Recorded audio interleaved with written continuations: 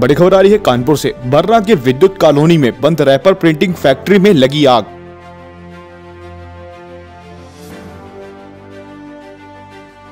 आग से लाखों के नुकसान का अनुमान।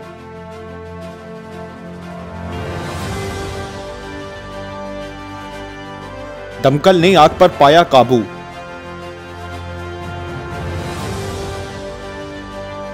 शॉर्ट सर्किट बताई जा रही है आग की वजह।